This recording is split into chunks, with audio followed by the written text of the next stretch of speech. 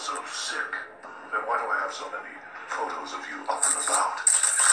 Let's put your so-called illness to the test. Right now, there's a slow-acting poison in your veins. The antidote is inside the safe.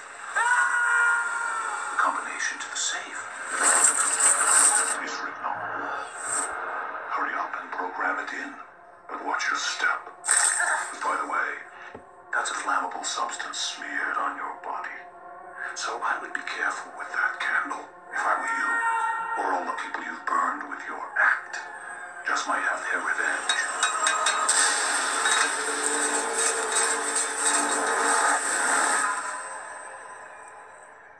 I found something else. Well, uh, two things actually. There was someone standing outside here watching through this peephole. Looks like our friend Jigsaw likes to book himself front row seats to his own sick little games. He was there at the last one as well. Only this time, he left us his penlight.